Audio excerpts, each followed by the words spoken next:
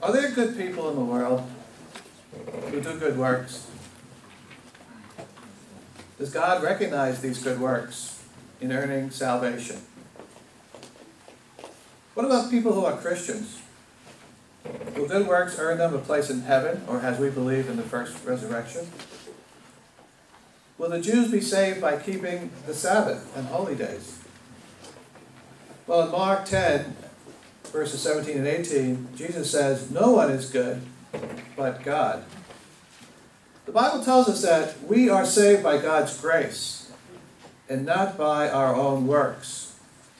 Grace is involved in God's calling, and, in, and grace is involved in the sacrifice of Jesus Christ for our sins, which allows us the opportunity for salvation. Remember, salvation is a process. Grace is God's undeserved, unmerited gift. We don't deserve it. It's His calling. And we have to respond. But it says, Many are called, but few are chosen. Few are chosen because few resp- uh, respond to that calling. And the pardon for our sins is through God's grace. God is no respecter of persons. You know, we, we must not be self righteous, but we have to have God's righteousness in us through the Holy Spirit, through Jesus Christ. It's God's righteousness which enables us to do good works. Now, this, this issue was in the church from the beginning.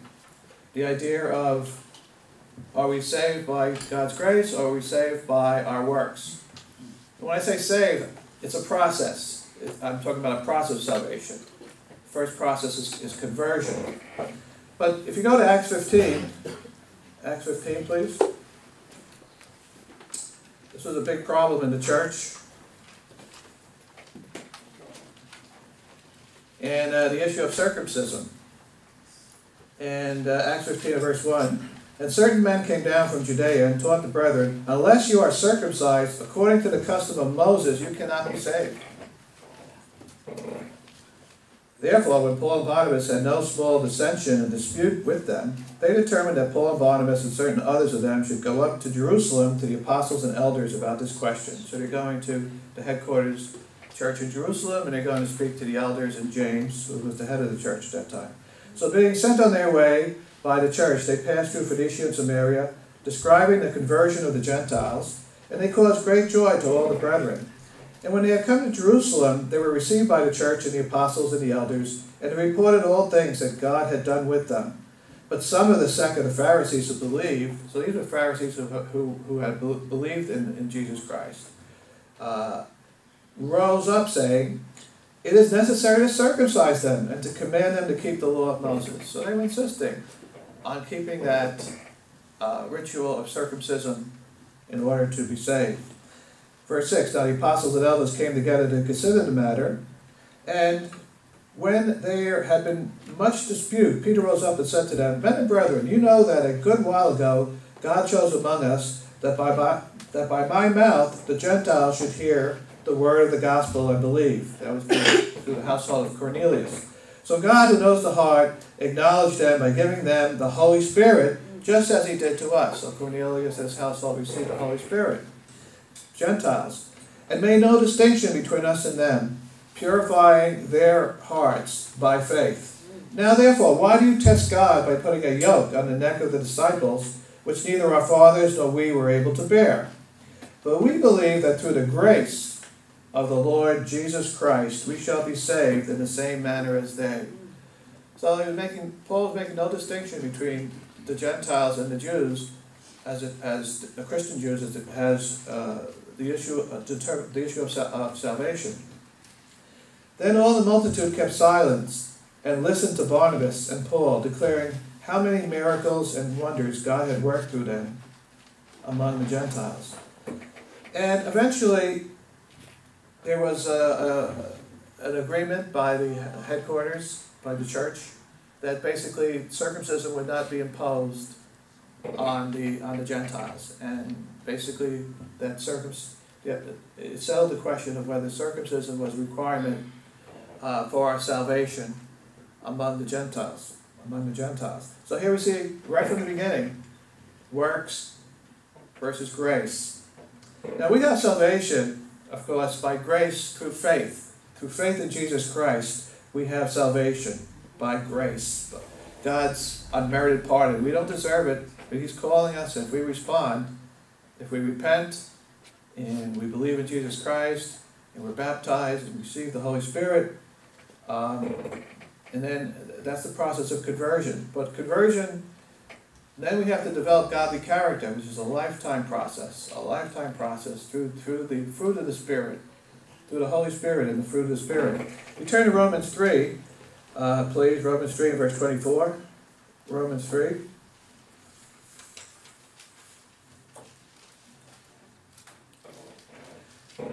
Being justified freely by his grace, by God's grace, through the redemption that is in Christ Jesus,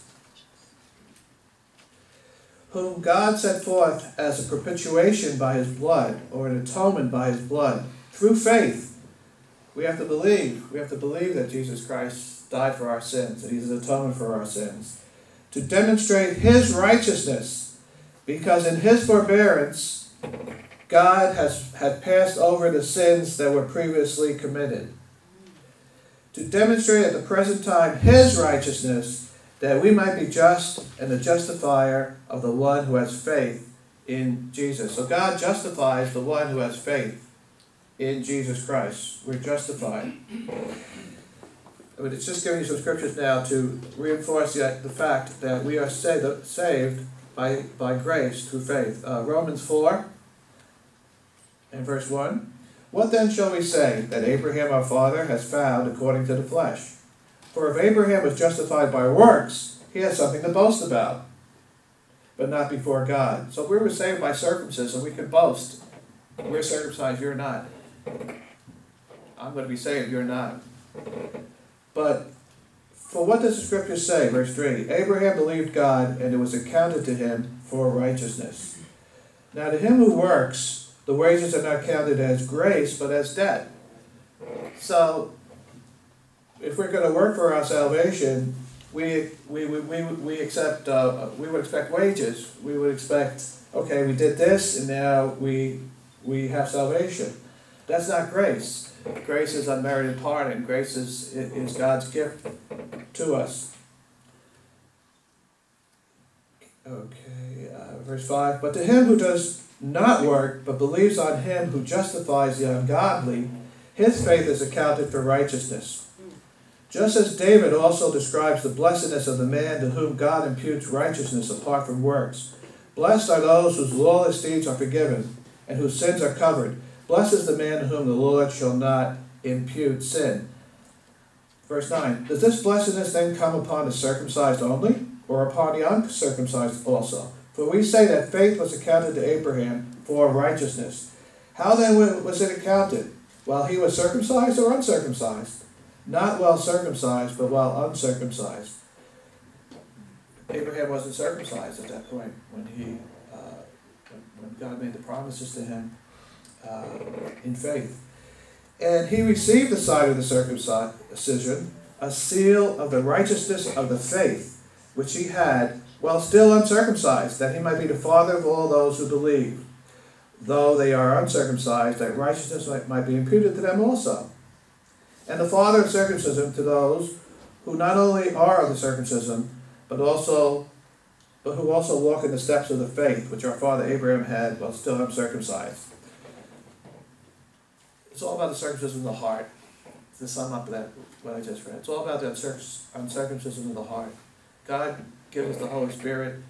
He circumcises our heart, and uh, through faith, through our faith. Uh, Romans four verse thirteen. For the promise that he would be the heir of the world was not to Abraham or to his seed through the law. The promise wasn't made through the law, but through the righteousness of faith. For those who are of the law are heirs. Faith is made void, and the promise of no effect. Because the law brings about wrath. In other words, we're, we're not under the law. That doesn't mean we don't keep the law. We're not under the law because we're under grace. We're under the grace of Jesus Christ. We're not under the law. We're not under the death penalty of the law.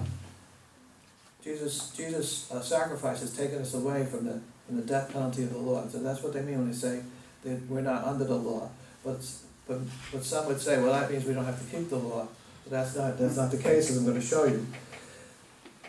At verse 16, therefore it is of faith that it might be according to grace, so that the promise might be sure to all the seed, not only to those who are of the law, but also to those who are of the faith of Abraham, who's the father of us all.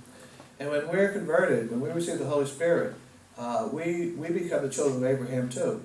Just as uh, the Israelites are the children of Abraham, we are the children of Abraham also, as the scripture tells us. Uh, chapter 5 and verse uh, 1 and 2. Therefore, having been justified by faith, we have peace with God through our Lord Jesus Christ. We're justified by faith. Through whom also we have access by faith into this grace. So the more faith, God gives us more faith, and so that we can grow in godly character. And that, and that is through His grace. So as we believe, as we're developing godly character, God gives us more faith. Remember, faith is one of the fruits of the Spirit, fruit of the Spirit. It, it is a gift of God. And we all, we all have access to faith. Uh, and uh, rejoice in hope of the glory of God. And we rejoice in the hope of the glory of God. So we have access to grace through faith. And chapter 6, in verse 1, what shall we say then? Shall we continue in sin that grace may abound? That's another issue. Uh, some say, well, and even back in the beginning of the church, well, we just go on sinning because we have God's grace and God will forgive us. So it's a license to sin. And uh, of course, Paul is saying, uh, certainly not, verse 2. How shall we who died to sin live any longer in sin? And uh, verse uh, 14 For sin shall not have dominion over you, for you are not under the law, but under grace. Again, you're not under the penalty of the law. That's what that means. You're not under uh, damnation, condemnation. Um, and verse 15 What then? Shall we sin because we are not under the law, but under grace? Certainly not. And if you go to John uh, 1 and verse 14, please. John 1 and verse 14. We're showing here that salvation is by grace through faith. And salvation is not by our works. John 1 and uh, verse 14.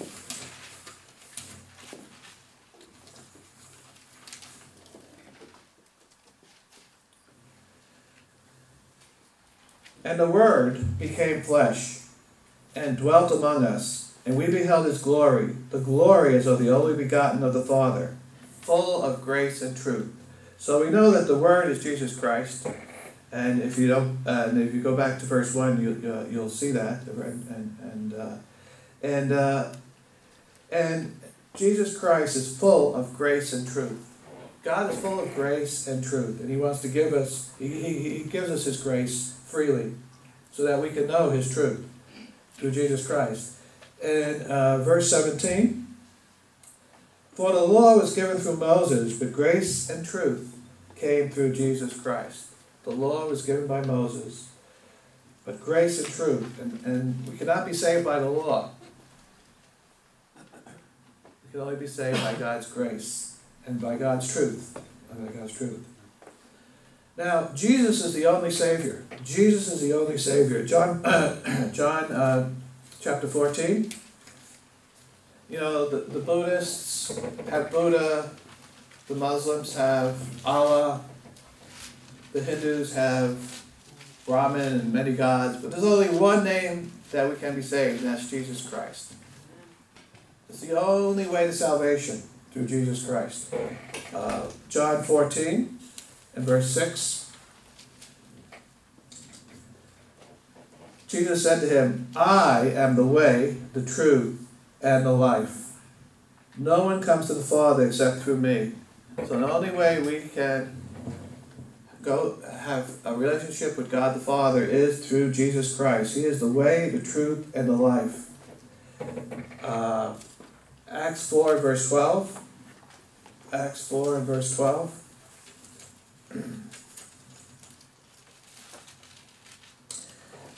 Nor is there salvation in any other, for there is no other name under heaven given among men by which we must be saved. And then in the previous verse, it talks about how Jesus is the chief cornerstone.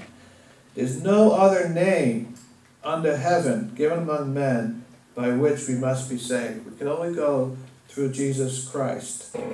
Uh, back to John, please. John 8. John 8. I'm giving you verses now to show you that Jesus is the only way, is our only Savior, and the only way to salvation. Uh, John 8 verse 23. And he said to them, You are from beneath, I am from above. You are of this world, I am not of this world. Therefore I said to you that you will die in your sins.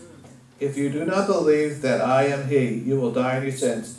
So we're going to die in our sins if we don't believe that Jesus Christ is our Savior. So the Buddhists, the Hindus, the Muslims, they're going to come up in the in the uh, Great White Throne Judgment. They're going to have the opportunity to know Jesus Christ. But don't kid yourselves. There's no different paths to God. There's only one path. There's only one way to God, and that's through Jesus Christ. Um, John 11, verse 25. John 11, verse 25. Jesus said to her, I am the resurrection and the life. He is the resurrection and life. It's only through Jesus Christ that we can be resurrected and have eternal life.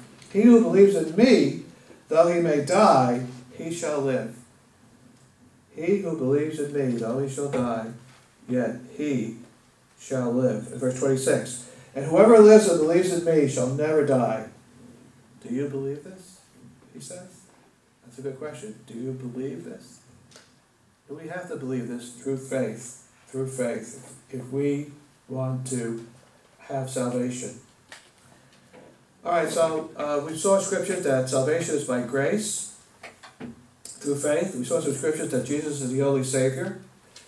But what about works? What about works? Well, we said that we're not saved by works. But works does play a major part in our, in our salvation process. Because when we're converted through grace, we show our faith by our good works. When converted through grace, we show our faith by our good works. We have to. We have to. We can only do good works when we're converted. Because we have Jesus Christ living in us. We have the Holy Spirit through the Holy Spirit, and we have the fruit of the Spirit that we that we have access to. Love, joy, peace, long suffering, gentleness, kindness, meekness, self-control. If you turn to uh, James 2, please. James 2. I'm going to show you now that works is important. We, we need to keep the commandments. And the commandments are even, uh, even uh, magnified in, in the New Testament. Uh, if we go to James 2, and verse 14. What does it profit, my brethren, if someone says he has faith but doesn't have works? Can faith save him? If a brother or sister is naked and destitute of daily food, and one of you says to them, Depart in peace, be warmed and filled, but you, but you do not give them the things which are needed for the body, what does it profit? Thus also, faith by itself, if it does not have works, is dead. That's a, that's a, what a statement. Faith without works is dead. But someone will say, You have faith, and I have works. Show me your faith without your works, and I will show you my faith by my works. You believe that there is one God? So you know, people have, have had faith. Yes, there is one God. But, but do they have the faith to, to follow God and to believe in God? Yes, I believe that there's a God. You, you, you do well. But even the demons believe and tremble. So faith by itself is not enough you know, you can believe in God, but you have to, your, your faith has to be demonstrated by your works. The works that God wants you to do. The good works that we talked about in the beginning. Was not Abraham our father justified by works when he offered Isaac his son on the altar? Do you see that faith was working together with his works, and by works faith was made perfect? Very important. Faith was working together with his works and by works, his faith was made perfect. So both of them complement each other. You can't have one without the other. You can't have faith without works. If you turn to John fourteen and verse twenty-two, please. John fourteen and verse twenty-two. As we wrap up, John fourteen and uh, verse twenty-one. He who has my commandments and keeps them, it is he who loves me. And he who loves me will be loved by my Father, and I will love him and manifest myself to him. So, if we love Christ, if we have the love of Christ in us, then we are going to keep his commandments. We are going to keep his commandments. If you turn to Matthew 5, Matthew 5, please. Matthew 5, in verse uh, 21. You have heard that it was said to those of old, You shall not murder, and whoever murders will be in danger of the judgment. But I say to you that whoever is angry with his brother without a cause shall be in danger of the judgment. And whoever says to his brother, Raca, shall be in danger of the council. But whoever says, You fool, shall be in danger of hellfire. In other words, what he's saying here, here, here is that if you have hate in your heart for someone, then you've committed murder. So, commandment is magnified, magnified. It's magnified. It's even and and the only and and but we we can keep these commandments through the Holy Spirit in us. God is in us. Jesus Christ lives in us. Um, and uh, twenty verse twenty seven. You have heard that it was said to those of old, You shall not commit adultery. But I say to you that whoever looks at a woman to lust for her has already committed adultery with her in his heart. Again, how the commandments are magnified. They're magnified. Um, in uh, Titus, and we ought to keep the commandments. Uh, Titus 3, verse 7. And when we fall short, we we go to God in prayer, we repent, and uh, and as we are growing, uh, we have we're able to develop the mind of Jesus Christ. It's a process and develop godly character, and um, and spiritually spiritually grow. Titus three and verse seven.